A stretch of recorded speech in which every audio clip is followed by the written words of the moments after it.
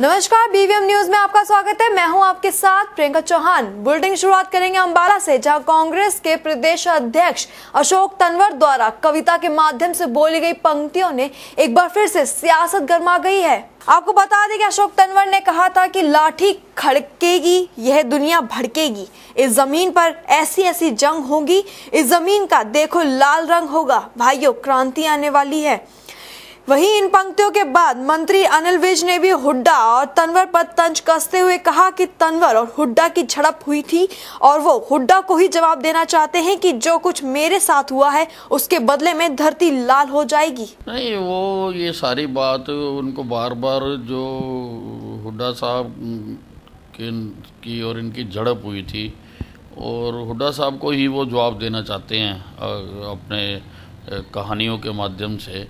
कि जो कुछ मेरे साथ हुआ है, उसके बदले में धरती लाल हो जाएगी।